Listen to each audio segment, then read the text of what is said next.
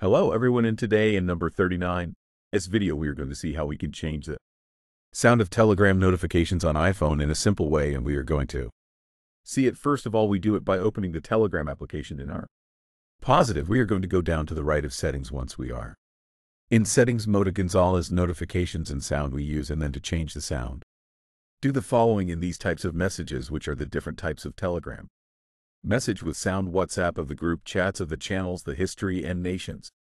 We have to click on each of them and change the sound in the option that we have on iPhone. Therefore, if I want to change the sound of the chats when the group says what we do, we click on this part here, which is the second, and then we are left with the sound part we use. And within Taparte, we can choose the sound we want from those that are recommended to us, or we can even upload a sound by pressing on this part here. And it says upload sound, change it to the sound you want. We are left at the top to the right to save it, and we will have already changed the sound in this case of the sections that continue. If you want, also change the one of the channels, the one of the hostel that you have activated, press and on Sunday we have sounds and we select the sound that remains as well as how you can change the Telegram sound on iPhone. Everything. Thanks for watching this video and see you in the next one.